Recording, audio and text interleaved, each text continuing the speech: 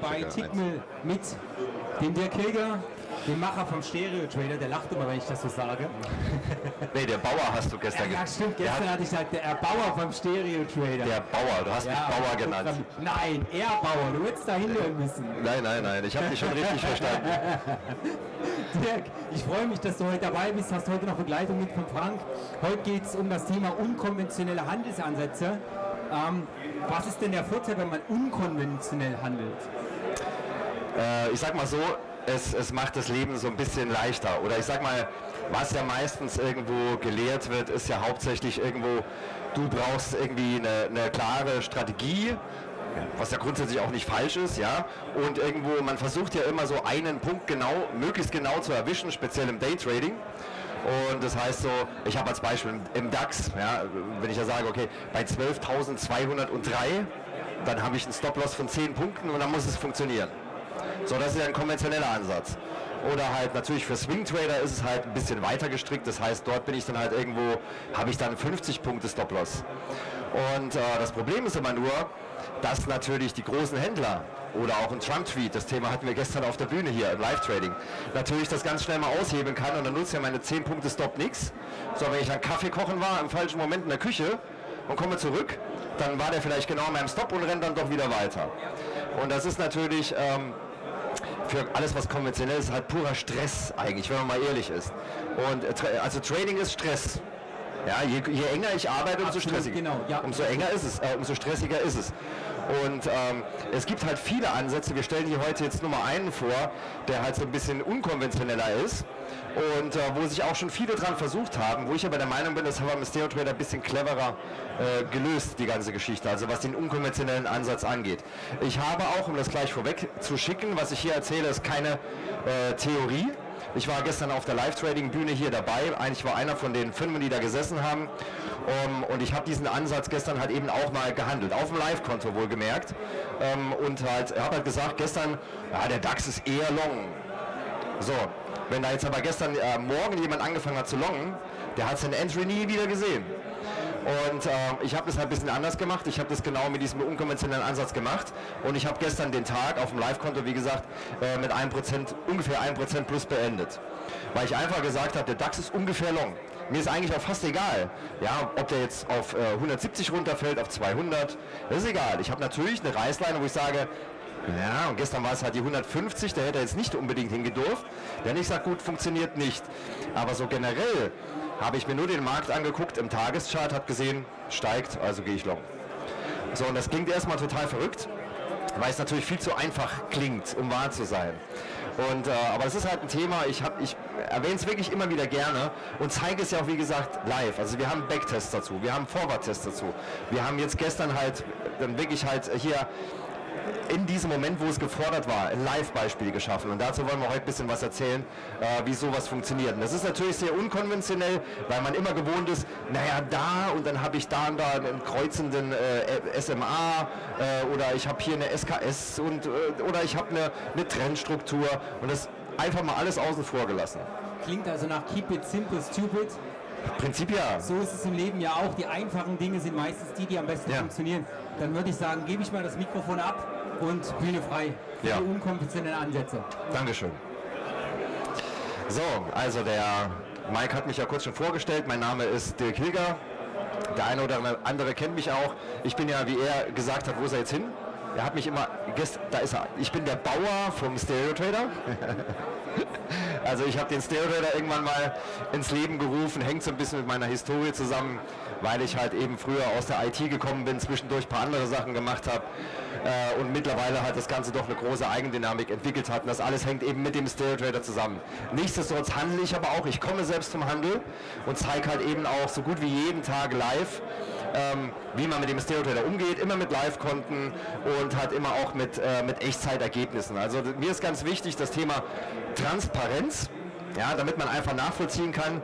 Also ich will eigentlich nur, dass die Leute verstehen, so hey, der Hilger, äh, ich muss gar nicht der beste Trader sein, aber ich bin halt eben auch kein Märchenerzähler. Das ist das Einzige, was mir halt wichtig ist. Ja. Und ähm, bei mir natürlich genauso wichtig ist, dass die Anwender von der Plattform natürlich halt eben auch profitabel handeln. weil sonst habe ich nichts davon. Das ist ganz simpel. So, deswegen ist grundsätzlich mein Motto, handle professionell, handle keinen Blödsinn, und vor allen Dingen glaubt nicht allzu viel. Und wie der Mike es auch schon gerade gesagt hat, oftmals ist es halt eigentlich einfach. Ich weiß, das klingt immer ganz böse, vor allen Dingen für diejenigen, die halt mit dem Markt als Beispiel halt nicht klarkommen. Ich weiß das.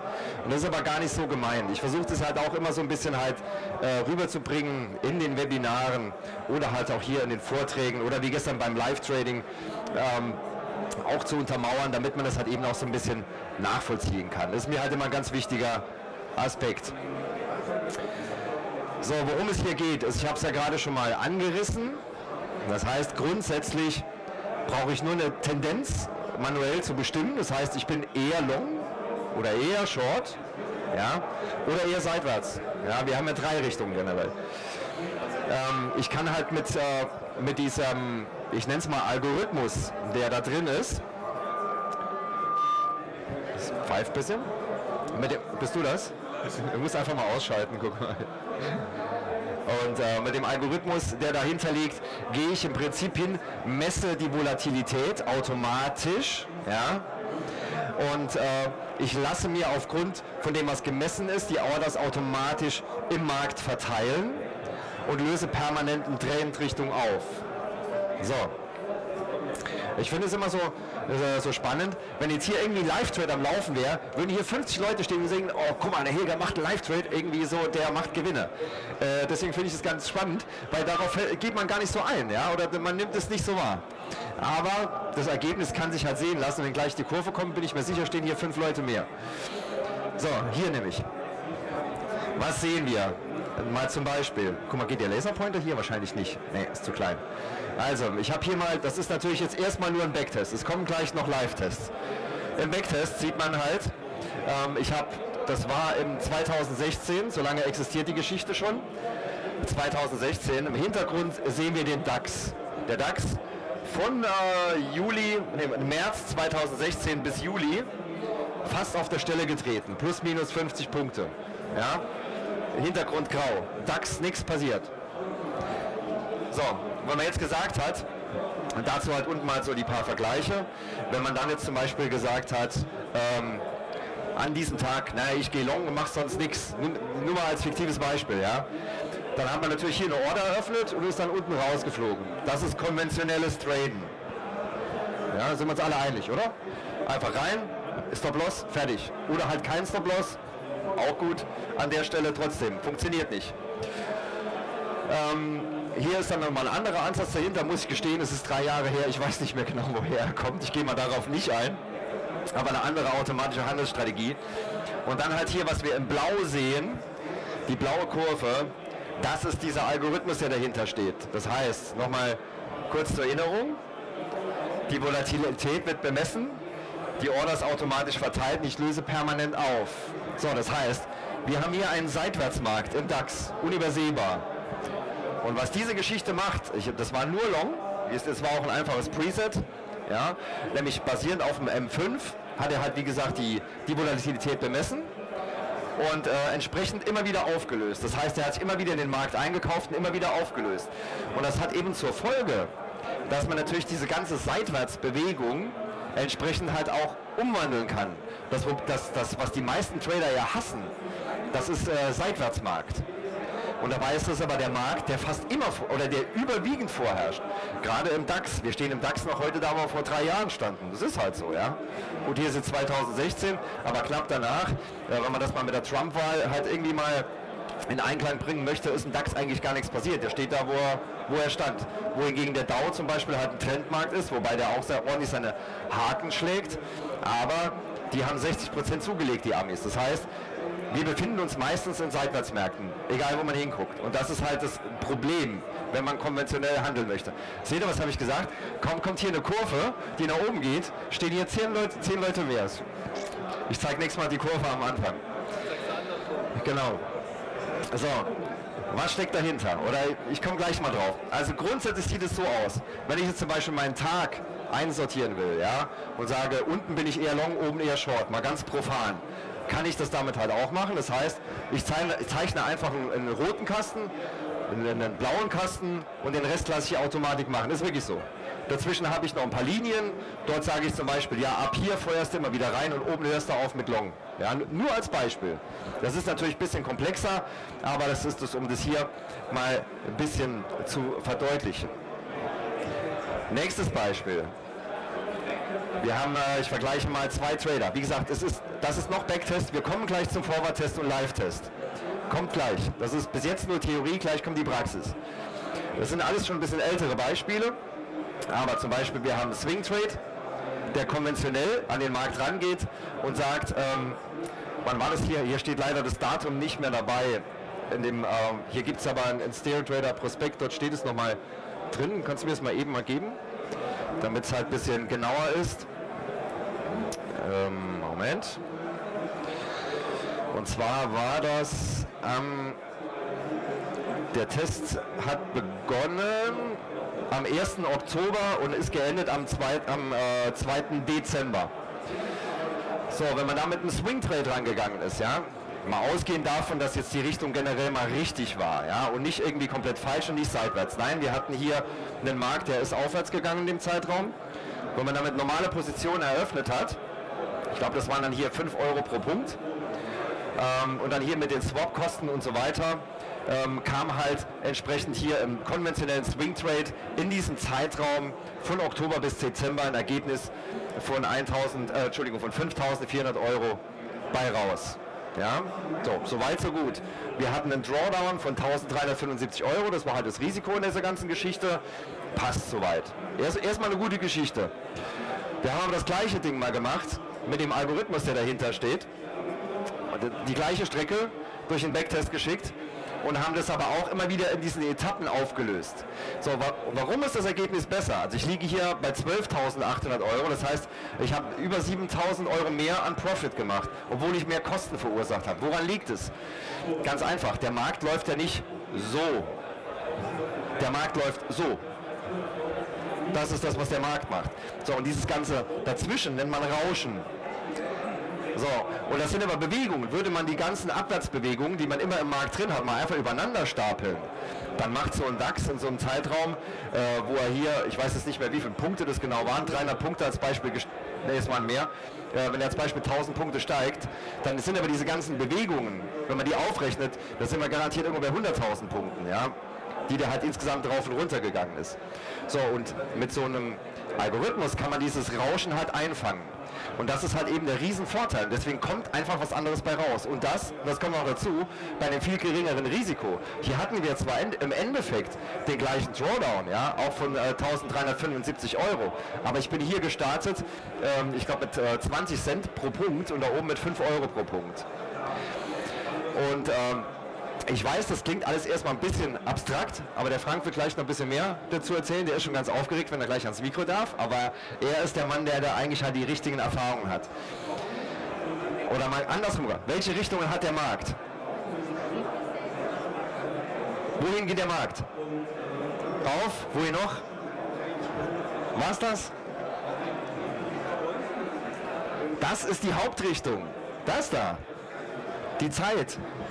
Das ist, das ist die, Richtung des, die Hauptrichtung des Marktes, die Zeit. Auch wenn er nichts tut, die Zeit geht immer vorwärts, immer. Und die anderen beiden, deswegen ist der, der Pfeil auch mal ganz bewusst ein bisschen größer gemacht. Eigentlich müsste der da rechts rauskippen aus dem Bildschirm. Weil das ist, was der Markt, also generell mal ein, Index meistens nicht macht. Das ist das, was er manchmal macht. Oder halt natürlich äh, im Durchschnitt macht. Und das ist das, was er meistens macht, jeden Tag einfach nur rechts rüberlaufen und dann wieder da enden, wo wir waren. Und wenn nicht, dann zwei Tage später. Und das ist halt genau das Problem. Und deswegen ähm, sieht das Ganze auch so aus. So, war hier jemand dabei gestern auf, äh, beim Live-Trading auf der WOT-Bühne hier, also hier bei der World of Trading? Vielleicht hier jemand im Publikum, noch jemand, ja? So, ich habe morgens, ähm, ich habe ja gestern ein paar Trades gemacht, ich glaube 16 in Summe waren es, 16 oder 17 sogar äh, zwei manuelle Trades. Ich habe hier noch nachmittags auch noch einen Live-Trade gemacht. Und, ähm, und eine Geschichte davon war, dass ich gesagt habe, naja, der DAX ist eher long. Ja, ich suche mir halt entweder ich habe zwei Möglichkeiten. Ich suche mir manuell meine Dip-Position, habe ich morgens gemacht, habe die auch mit 25 Punkten plus aufgelöst. Ich glaube irgendwie kurz nach 10 ähm, war das, ich halb elf oder so und war auch live auf der Bühne zu sehen. Das war der konventionelle Ansatz, ja, den ich natürlich halt auch handle. Ich habe aber auch gesagt, na gut, ich mache es auch mal anders.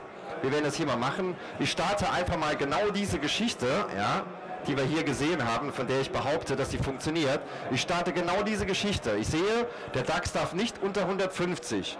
So, also, solange das nicht gegeben ist, bleibe ich long orientiert. Sage aber dem Automaten, mach du das mal. Und das war das Ergebnis. Kann man sich mal angucken. Das ist, das ist das Ergebnis vom gestrigen Live-Trading hier auf der WOT-Bühne. Mit dieser Geschichte, über die ich hier gerade rede. Das klingt erstmal unglaublich, ja, aber da oben stehen 180 Punkte. Das ist kein Witz. Das ist die gesamte Tagesart der ja. Das ist, äh, das ist mehr als der DAX am Tag gemacht hat. Das sind 180 Punkte gestern aus dem Live-Trading hier auf der Bühne eingesammelt mit dieser Geschichte. Nur weil ich gesagt habe, der Markt ist eher long wenn man sich das jetzt mal anguckt.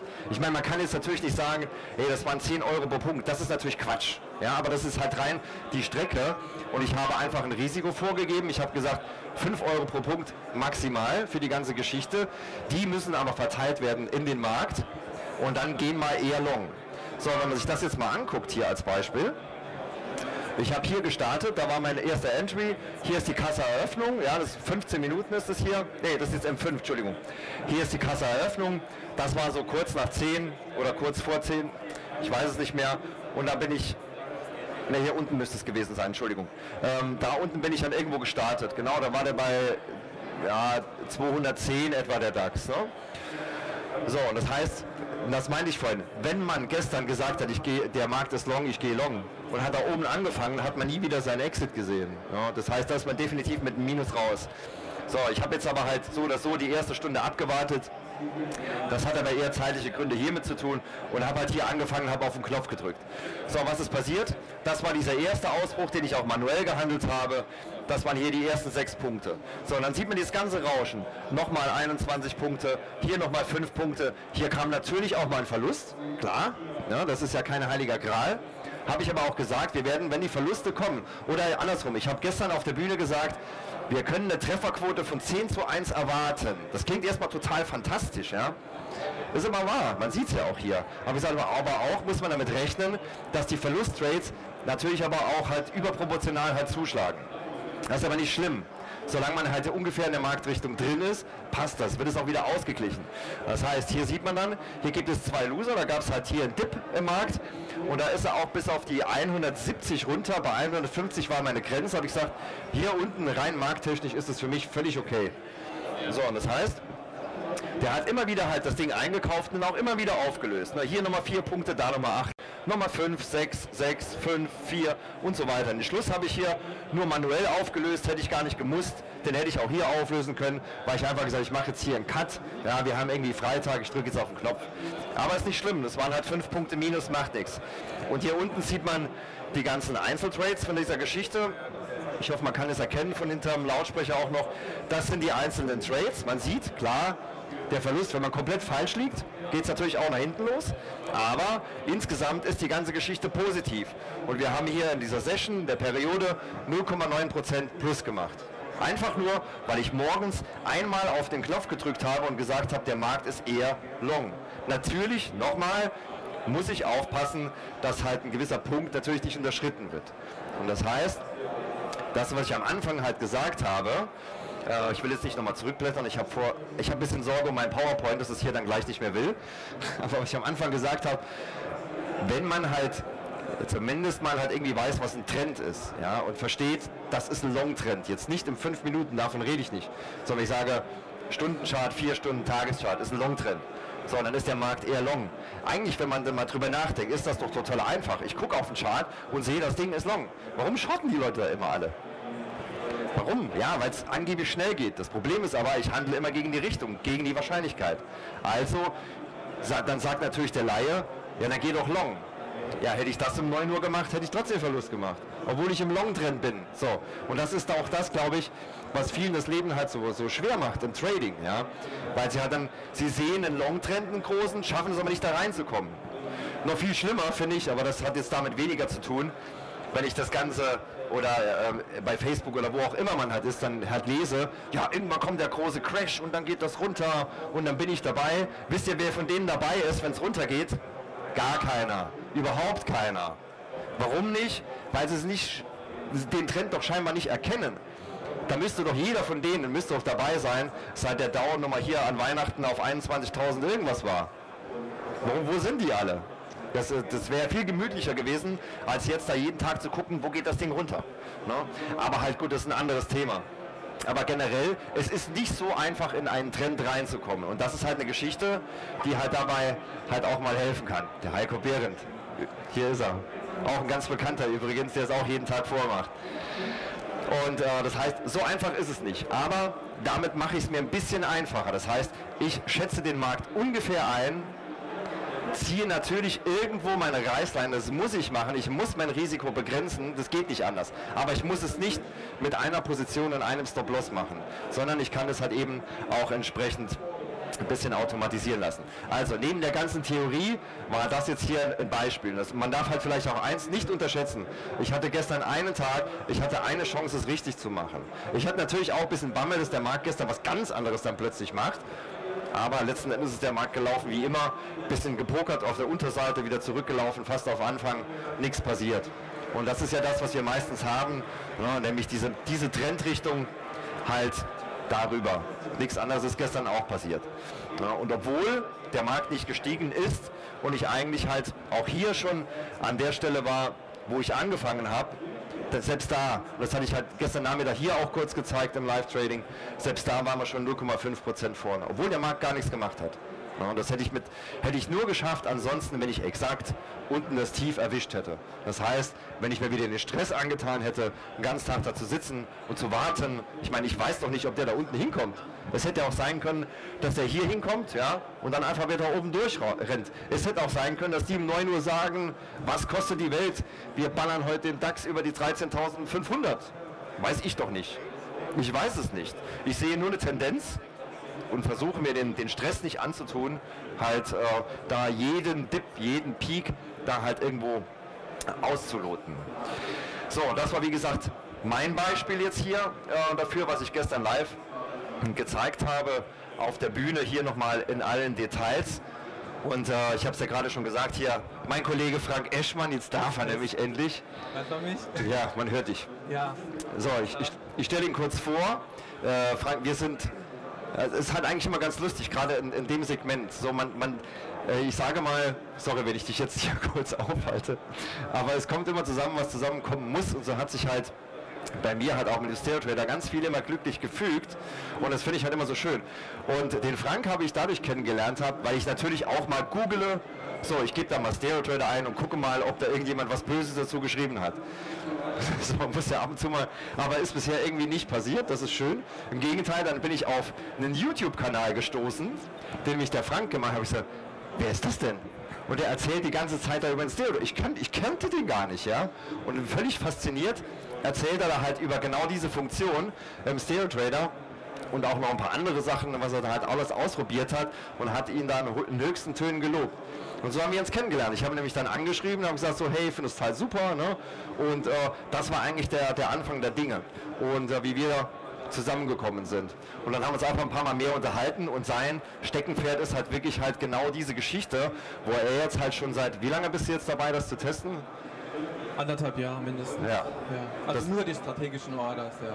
Das heißt also, das, was ich hier hin und wieder mal mache im Backtest oder halt auch mal im Live-Test, macht er konsequent jetzt seit, seit äh, anderthalb Jahren. Und dazu kannst du, er hat auch ein paar Ergebnisse mitgebracht von Live-Konten, äh, beziehungsweise halt auch von Demo-Konten, also alles Forward-Tests, keine Backtests, die ja auch natürlich immer verfälscht äh, sein können, wegen der Ausführung, wegen der Bewegung, wegen Genauigkeit von den äh, historischen Daten und so weiter. Darf man das auch nicht überbewerten. Deswegen ist immer ganz wichtig, ähm, dass man sich eben nicht auf Backtests verlässt und ähm, sondern das hat wirklich halt Forward testet. Und er hat es gemacht. Also, du hast das Wort. Ja. Endlich Vielen Dank, Dirk. Ja. darfst du übernehmen. Also mein Name ist Frank Eschmann, äh, wie der Dirk schon gesagt hat. Und ich habe mich eben, hört man mich? Ja. Kannst du mich ein bisschen lauter?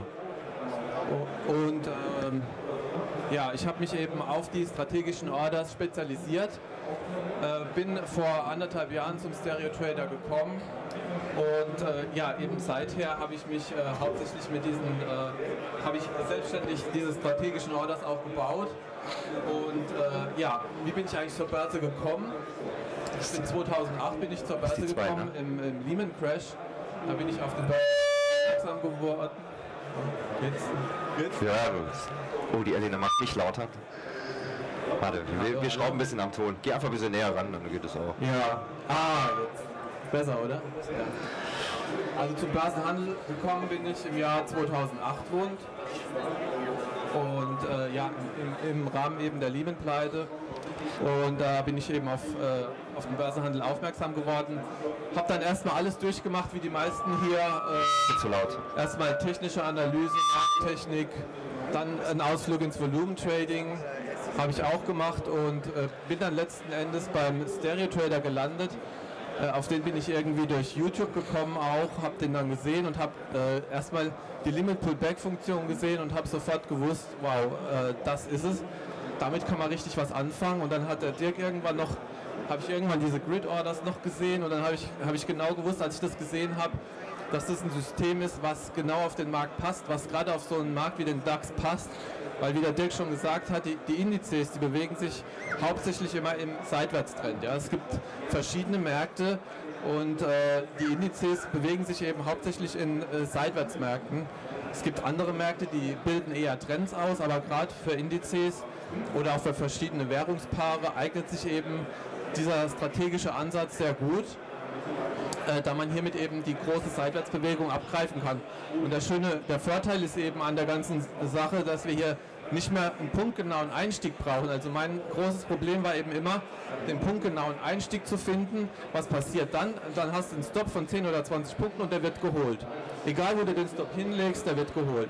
So, und, und das ist irgendwie extrem nervig und deswegen finde ich diese Art zu handeln extrem entspannt, weil es im Grunde egal ist, wo man einsteigt, man kommt fast immer mit einem Gewinn raus. Und das hört sich absurd an, aber es ist tatsächlich so, dass man hier äh, mit dieser Art des Tradings äh, gute Gewinne erzielen kann und nicht mehr diese Anspannung hat, die man eben äh, hat, wenn man einen punktgenauen Einstieg sucht, egal äh, mit welchem System man daran geht. Egal, ob man die technische Analyse nimmt, die Markttechnik, das Orderflow und Volumentrading, das alles, zieht alles immer darauf ab, einen punktgenauen Einstieg zu finden, um dann eben die Bewegungsrichtung abzugreifen oder zu prognostizieren. Wir sagen, der DAX bricht eine Unterstützung und er geht dann dahin.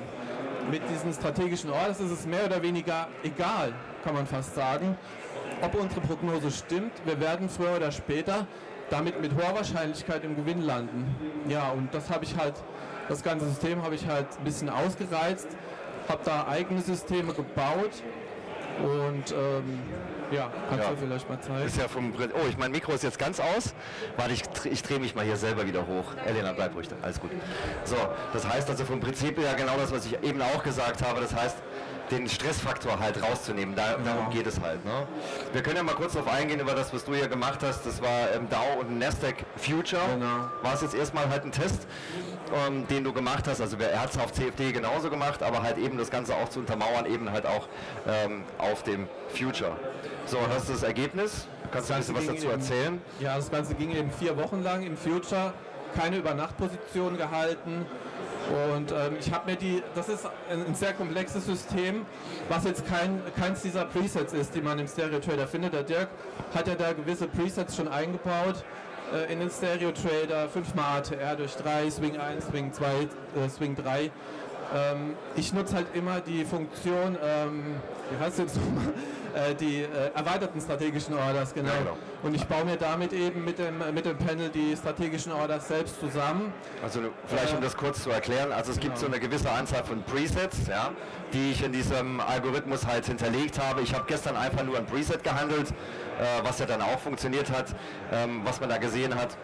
Und ähm, man kann sich aber halt, oder man sollte halt auch, ne? also es ist ganz wichtig, das soll hier nicht als der heilige Gral oder irgendwas verstanden werden. Ja? Das, es geht natürlich auch, wenn man immer komplett daneben schießt ja, und keinen Trend erkennt äh, und dann halt sagt, ja, das Ding macht das schon, das wird, vielleicht nicht so, nicht so viel Verlust machen, äh, wie wenn man anders handelt, ja? weil es halt generell das Risiko schon rausnimmt und auch so ein bisschen verzeihlich ist, aber trotzdem wird man dann auch damit baden gehen, das ist ganz klar. Ne? Also das heißt, kein heiliger Gral, aber sicherlich eine äh, eine Art, die einem hilft, so, die das so, so ein bisschen verzeihlich ist, ja. Genau. Und ähm, jetzt habe ich ganz kurz, achso genau, Preset. Ja. So, das heißt, was ich gestern gemacht habe, das war nur ein Preset und man kann aber halt diese ganzen Parameter oder sollte halt auch, wenn man sich damit befasst hat, äh, kann man sich halt auch selber ganz genau einstellen. Man kann es natürlich alles backtesten, äh, live testen, wie auch immer. Ne? Und das ist das, was halt der Frank gemacht hat. Das heißt, er hat sich intensiver damit auseinandergesetzt. Der hat gesagt, die Presets von dem Dirk, die sind alle Müll. Nee, die sind kein Müll, aber... nein, nein, das ist ja okay. Und äh, das soll ja, ist ja auch gut so, das soll ja gar nicht so sein. Und, aber ich sagte, das passt für ihn nicht zu seinem Handelsstil. Er hat sich seine eigenen Presets gemacht und das ist eben damit gemeint. Das heißt, er hat einfach seine eigenen Einstellungen gemacht und das ist wohl das, was dann dazu unter anderem ja, geführt hat. Es ist äh, ein sehr verrückter Test, aber es, äh, es hat gut funktioniert und äh, ja, ich gehe halt immer so ran, dass ich mir die ATR in einem Wert angucke und ähm, ja, weiß man ja ungefähr, wie viele Punkte bewegt sich denn der DAX am Tag zum Beispiel. Bewegt er sich 4000 Punkte oder bewegt er sich 50 Punkte? Das kann man ja ungefähr einschätzen. Ne? Ich glaube, es ist um, um, die 100, oder?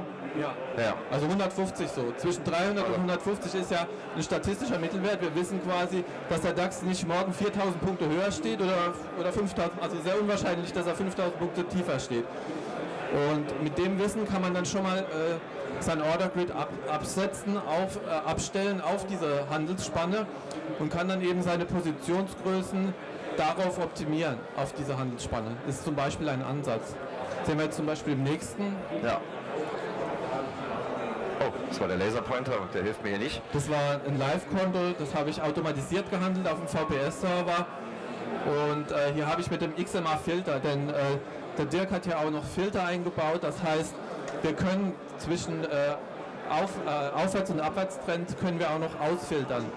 Und äh, ja, dann kann ich mir quasi meine Grid Orders äh, quasi äh, vorprogrammieren, also vorlegen und der Filter, der filtert mir dann die Aufwärts- von den Abwärtstrends raus, ja.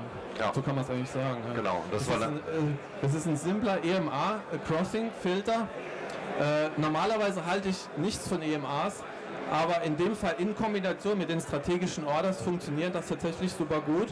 Und man sieht auch die langen Seitwärtsphasen ist einfach dem Umstand geschuldet, dass, wie der Dirk schon gesagt hat oder wie ich auch sage, dass die Indizes eben äh, tendenziell eher seitwärts laufen. Und das ist halt ein Trendsystem. Es ist ein Trendfolgesystem, das ich auf dem DAX angewendet habe. Und da der nun mal hauptsächlich seitwärts läuft, wird er sehr oft Break-Even ausgestoppt in dem Fall. Aber das, was jetzt einen äh, diskretionären Trader verrückt macht, wenn er dauernd ausgestoppt wird, wir versuchen in den Trend reinzukommen, werden immer wieder ausgestoppt. Und das nervt ja auf Dauer. Wir versuchen irgendwie einen Trend zu erwischen und wieder ausgestoppt. Und dann müssen wir wieder einsteigen. Und der Stereo-Trader kann das eben alles automatisch machen. Er, stoppt uns, äh, er stellt uns Break-Even, dann wird er ausgestoppt und dann können wir sofort wieder eine neue Order auflegen lassen. Und das macht der Stereo-Trader halt vollautomatisch dann, äh, in dem Fall auf dem VPS-Server und das macht das ganze Trading extrem äh, entspannt und äh, gibt einem auch eine gewisse Sicherheit äh, und nimmt einfach die Aufregung aus dem ganzen Trading raus. Ja, und, und wenn er dann mal einen Trend erwischt, dann sieht man, äh, dann entstehen eben diese kleinen Performance Spikes nach oben, wenn er dann wirklich mal in den Trend reinkommt, was ja bei so einem Wert dann auch eine Weile dauert. Und dann äh, kann man eben dann auch die Gewinne realisieren. Ja, das ist natürlich das Entscheidende. Die Gewinne müssen immer realisiert werden. Ja, das heißt, es nützt ja nichts, wenn man sich immer nur einkauft. Man muss auch auflösen. Ja, und, das, und all das wird eben mit der ATR, also das heißt mit der Volatilität, die da ist, mit der durchschnittlichen Länge einer Kerze, welche auch immer, dann halt irgendwo entschieden, ähm, wo passiert an der Stelle halt die Auflösung. Wie er auch gerade schon gesagt hat, ähm, so ein Filter. Äh, wer hat nicht schon eine Strategie gehört? Ja, wenn sich der SMA 12 mit dem SA 51,5 kreuzt, dann ist das Long. Das ist alles totaler Müll, ja. Also das, sorry, wenn ich das so deutlich sage, aber ich habe bis dato kein, ähm, keinen, noch nicht mal einen Backtest gesehen, der damit halt permanent irgendwie erfolgreich ist. Es ist total egal. Man kann auch den 20er mit dem EMA 200, es ist alles, es funktioniert nicht. Weil, aus dem einfachen Grund, wenn es so einfach wäre, würde es jeder machen. So, das ist schon ein Grund, warum es nicht funktionieren kann. Das zweite ist, jeder SMA, jeder EMA läuft immer dem Kurs hinterher. Der einzig verlässliche SMA ist der SMA 1. Das ist nämlich eine Kerze. So, von dem weiß ich, gut, diesen Echtzeit. Der Rest rennt immer hinterher. man sieht natürlich eine Tendenz. Ja? Ich sehe, ja, wenn der, der EMA 200 abfällt, dann fällt der Markt. Ja, das sehe ich aber auch am Markt. Da brauche ich keinen EMA 200. Und genauso, natürlich, wenn, wenn, wenn er irgendwo dreht, der EMA 200 fällt dann noch, so ein kleinerer SMA, der dreht natürlich schneller mit, dann kreuzen die sich, dann sehe ich, der Kurs steigt. Äh, äh, der Kurs ist gestiegen. Das ist immer der entscheidende Punkt. Aber selbst wenn es für dich okay ist, gehe ich mal kurz auf das Beispiel. Ja, klar. Wir haben heute Morgen nämlich einfach mal zusammen eine Runde Kaffee getrunken, haben hier mal versucht, das vorzubereiten. Will das jetzt nicht? Okay, Moment, ich muss wahrscheinlich erstmal hier das PowerPoint kurz beenden. Vielleicht funktioniert es dann. So. Und zwar sind wir nämlich einfach mal hingegangen und haben das mal ganz stupide gemacht. Das ist so ein Filter. Ähm, ja, wie er ihn gerade angesprochen hat, auch den hat er für sich optimiert. Aber hier hinter ist es einfach mal ganz, ganz stupide. Wenn, wenn rot ist, ist short, wenn blau ist, ist long. So, das Ganze basiert hier, das ist ein, ein kleines äh, Add-on, ähm, eine Indikation im Stereo Trader. Ich habe hier einfach eingestellt EMA 200 und äh, SMA 20. Das heißt, wie gesagt, ich, ich, glaube, ja, ich glaube nicht an sowas, ja. Aber da haben wir einfach mal gesagt, na gut, trotzdem zeigt es eine Tendenz, die natürlich sehr träge hinterher rennt, ja.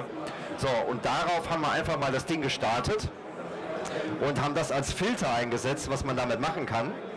Ähm, so, lass hier einfach mal weiterlaufen. Wir sehen halt, das ganze Ding ist schon ein bisschen gelaufen. Ne? Das heißt, so funktioniert die ganze Geschichte prinzipiell. Das ist jetzt hier History Trading. Das heißt, er deckt sich in den Markt ein. Jetzt ist es aber kein stupides Grid. Das sieht man schon daran, dass die alle miteinander verkettet sind, die ganzen Geschichten. Das ist halt eben das Entscheidende. Das heißt, es kann nicht passieren, dass zum Beispiel hier jetzt ja, ich habe hier ein Risiko von 6 Euro pro Punkt oder 5 Euro plus 1. Es kann nicht passieren, dass der Markt hier oben durchrennt, ich überall gefüllt werde und dann halt Minus lande. Kann nicht passieren. Das ist wirklich extrem wichtig, weil ja. das geht nur mit dem Stereo Trader. Da muss man auch mal noch äh, quasi warnen, solche Systeme auf anderen Plattformen anzuwenden, ja. weil die garantiert scheitern durch die Limit Pullback Funktion und die verketteten äh, Grid Orders ist das Risiko eben extrem minimiert. Das wird auf einer anderen Plattform wird es definitiv so nicht funktionieren. Man, man, sieht es hier, wenn man genauer hinguckt, ne? das Grid schickt sich immer nach oben. Das heißt, immer dann, wenn halt irgendwie ein Level überschritten wurde, geht das Ganze halt dynamisch. Natürlich geht es auch, mal, äh, auch mal mit Minus raus, ja. Aber halt die Funktionsweise ist eine völlig andere. Ich weiß, dass mittlerweile andere Plattformhersteller hingehen und das versuchen nachzubauen, ja. Und, äh, aber wir haben halt hier einfach schon mindestens fünf Jahre Erfahrung halt drin. Und das ist eine ganz andere Geschichte als ein normales Grid-System. Ich habe mich ja vorhin mit dem äh, Orkan Kujas, was ja auch ein ähm, Verfechter vom Stereo Trader ist, auch unterhalten. Er hat auch gesagt, wir haben schon so viele Grids getestet, funktioniert nicht. Das ist kein normales Grid-System, auch wenn es auf den ersten Blick so aussieht. Das ist es nicht. Es funktioniert anders. Und ähm, wie gesagt, das jetzt hier aber mal nur mal noch mal drauf zurückzukommen, ganz simpler Filter, der wie jeder andere dem Markt hinterher rennt. Ja, einfach mal laufen lassen. Hier sind, wir haben das Ding gestartet, da wo es gestartet ist, einfach ohne irgendwas einzugeben. Und hier auf der rechten Seite sieht man, klar haben wir Verlierer drin. Ja, logisch, weil das Ding ja auch dem Markt hinterher rennt. Aber dadurch, weil er immer wieder, das heißt, wenn ich gegen den Trend handle, verliere ich. Läuft er aber seitwärts, verdiene ich Geld. Läuft er mit mir, verdiene ich auch Geld. Das heißt, bedingt dadurch, dass ich hier schon einfach eine statistische Quote habe, die schon bei 66,6% liegt, habe ich natürlich einen Vorteil. Und deswegen passiert genau das. Das heißt, wenn ich ungefähr drin bin, ungefähr in der Richtung, kriege ich mein Seitwärts auf jeden Fall. Und ich kriege natürlich meine Trendrichtung. Und deswegen sieht die Kurve so aus. Das waren jetzt hier mittlerweile 318 Trades, die das Ding jetzt hier absolviert hat. Und äh, ja, im Durchschnitt liegen wir jetzt halt hier bei 15% vorne. Und am, äh, Entschuldigung, der Drawdown war 15% und wir liegen 21% vorne. Das musste manuell erstmal schaffen. Ja. Und, und noch ein großer Vorteil ist natürlich mit dieser Art des Tradings, dass wir nicht mehr auf Futures-Daten angewiesen sind. Wenn wir jetzt sagen, wir wollen Orderflow Scalping oder irgend sowas machen, eben im Future, dann brauchen wir natürlich original Futures-Daten. Das macht ja im CFD überhaupt keinen Sinn. Und mit diesem System ist die Kursstellung ja quasi mehr oder weniger egal. Und wenn der mal nach oben spiked, dann wird das ganze Grid einfach mit nach oben geschoben. Wo dann der Future im selben Moment steht, ist im Grunde quasi fast irrelevant. Ja, und das hier, wie gesagt, ist auch nur ein ganz simples Preset, was da halt drin ist, ne, was halt eben auf so einem eigentlich total stupiden und eigentlich nicht funktionierenden Ansatz beruht. Und trotzdem haben wir das mal angeworfen und haben gesagt, komm, lass mal laufen und äh, weil wir haben es heute, tatsächlich erst heute Morgen zusammengesetzt und haben uns überlegt, was wir hier überhaupt erzählen müssen. Und äh, nein, ich bin deswegen ganz froh, dass es gestern beim Live-Trading, dass es halt eben auch hier reinspielen konnte und dass wir hier eben nicht nur auf irgendwelche Backtests äh, halt zurückgreifen müssen, sondern einmal sein, seine Ergebnisse, die er halt gesammelt hat in, äh, in all der Zeit, äh, mein Beispiel auf dem Live und eben das halt in Kombination dazu. Deswegen sage ich auch mal ganz wichtig, wenn ihr irgendeinen Automaten seht, der immer nur Plus macht, vergisst es, ne? Das funktioniert nicht. Also das ist, äh, man sollte schon irgendwie Vorwartests haben. Ja bitte.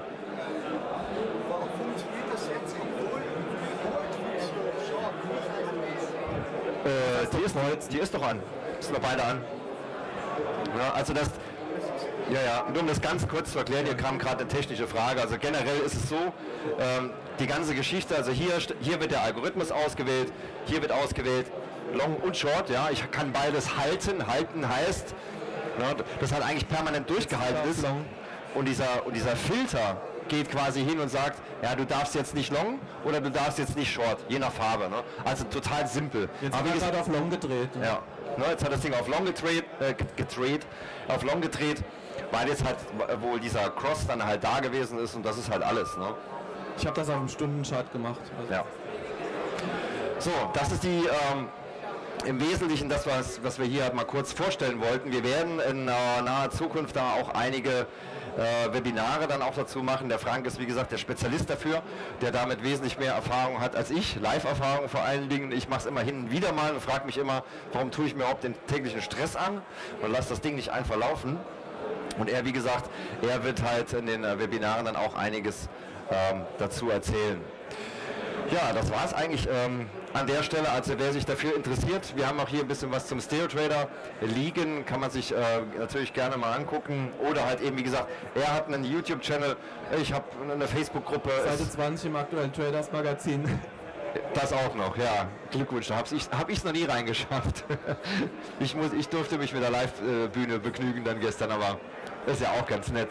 Nein, also wer sich damit befassen will, im Internet findet man ganz viel dazu. Und wie gesagt, hier gibt es auch einen, Prospekt. Und wer Fragen hat, kann natürlich sich auch gerne an Tickmill hier wenden, den Stereo Tradern. Und das alles gibt es halt hier tatsächlich kostenlos zum Konto auch dazu. Wie gesagt, wir machen viel Education rund um das Thema. Und äh, wir lassen da halt auch niemanden damit alleine. So, liebe Elena, von meiner Seite, so wie ich das sehe, kommt da jetzt nichts mehr an Präsentation. Außer noch vielleicht ein, ein letztes Bild. Nein, ne? also das war hier nochmal die Statistik. Aber ansonsten sind wir dann an der Stelle durch. Vielen Dank fürs Zuhören. Ich habe heute Nachmittag übrigens noch äh, auch ein Seminar zu einem ähnlichen Thema, hat jetzt damit äh, weniger zu tun, aber 14 Uhr, wer möchte, kann dann natürlich äh, sich gerne noch dazu buchen. Ich glaube, es gibt noch ein paar freie Plätze. Aber erstmal Dankeschön an der Stelle, auch an Tickmill und natürlich an dich, Frank, dass Danke du hier eingesprungen bist und äh, wie hier das hier zusammen zeigen wollt, äh, durften. So, ich wünsche Ihnen allen noch viel Erfolg und viel Spaß hier auf der WOT und ein schönes Wochenende. Bis dahin.